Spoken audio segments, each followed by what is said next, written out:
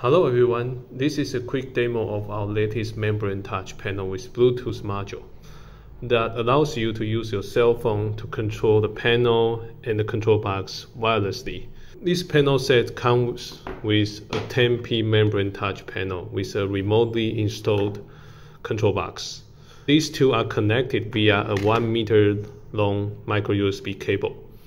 So it gives you a quite flexible mounting options as you, you only need a small space for the panel in the dashboard and you can mount all the cables to the powers and the devices in the back of the dashboard. The panel is IP67 rated with backlight module. There is also an individual backlight button that allows you to control the on and off of the backlight. You can also customize labels by stickers included and you can use the backlight button to set up any of the button to be momentary. For momentary buttons you see it is on only when it is pressed and for regular buttons one press on and one press off. Now for the cell phone app first of all you can see it has almost identical layout like the physical panel. If you mount the physical panel vertically, you can also use your cell phone vertically, and you will still keep the same layout. The switch status is synced between the physical and the, the virtual panel.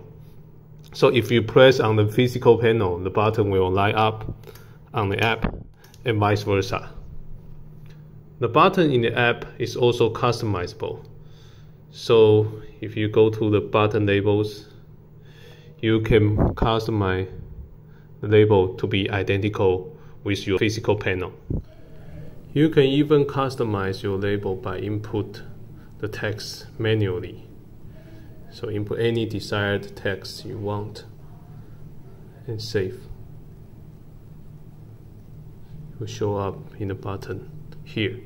You can also customize the, the momentary setting of each button for example, if I cancel the momentary state of the home button,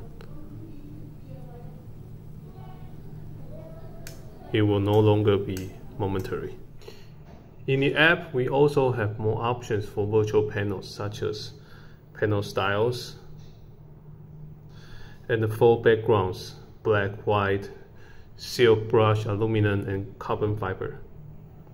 So you can customize the panel to any style you prefer. In the home screen, you can also see there's a system voltage monitor in the corner and visual battery status to let you know easily if there's still enough power in your house battery uh, in the yard or caravan. So this is not the battery status of your cell phone. This is the battery label of the system that connects to the control box. You can even set up a low voltage warning in the settings and set up a desired voltage level. So when the voltage drop below this level, it will notify you with push notification. You can also pair up to four different control panels in one cell phone, so you can have one in the cabin and another set in the back of the yacht or caravan. The app will memorize the stat and the customized labels panel style so you can easily distinguish them or switching between one another.